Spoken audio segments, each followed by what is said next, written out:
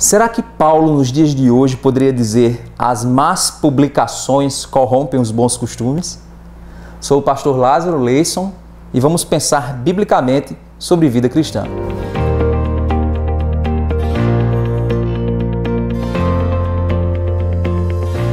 Nós vivemos em tempos difíceis, tempos de muitas vozes em todos os meios de comunicação, vozes falando sobre Jesus.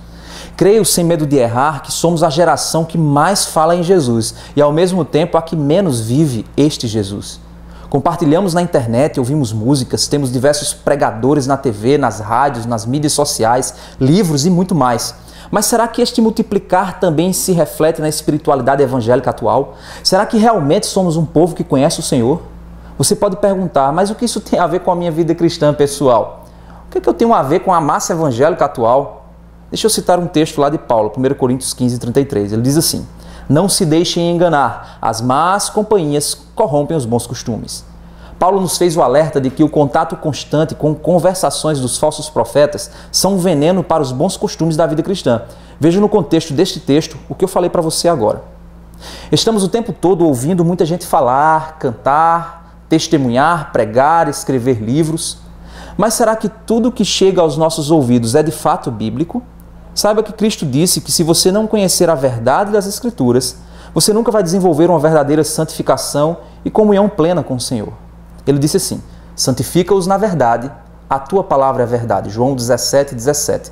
Por isso quero te fazer um alerta que já foi feito por Paulo. Isso ele fez lá em 1, 2 Timóteo capítulo 3, verso 1 mas quero que você fique atento ao verso 5. Ele disse assim: Saiba disto, nos últimos dias virão tempos terríveis. Aí ele pula, tendo aparência de piedade, mas negando o seu poder. Afasta-se desses também. Você acha que a advertência de Paulo não deveria ser levada em consideração nos dias que nós vivemos hoje? Será que não estamos negligenciando esta advertência?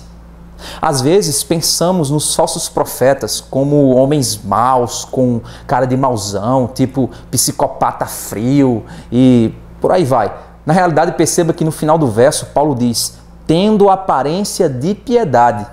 O que isso significa?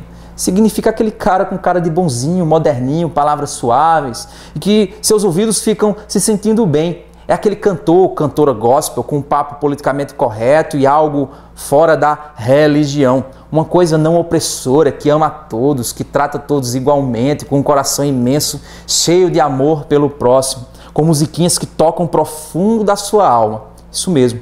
Esse pessoal tem aparência de piedade. Eles têm cara de que estão lutando por um mundo melhor. Eles têm cara de que estão lutando por um evangelho de amor, de paz, mas eles têm apenas a aparência de piedade. Veja os maiores nomes da música e de certas teologias que vemos hoje em dia. Vejam quantos seguidores esses têm e pensem: será que a mensagem de Jesus, a mensagem verdadeira, é tão popular assim? Será que a porta estreita passou por reforma e agora muitos entram por ela através das palavras destes cantores e pregadores do amor de Jesus? Será que eles conseguiram aquilo que nem Jesus conseguiu e que por isso foi crucificado? Cuidado, você está sendo enganado. Sendo enganado por um falso evangelho que tem aparência de piedade, mas não acredita no real poder da verdadeira piedade cristã. Avalie tudo que você ouve, tudo que você lê.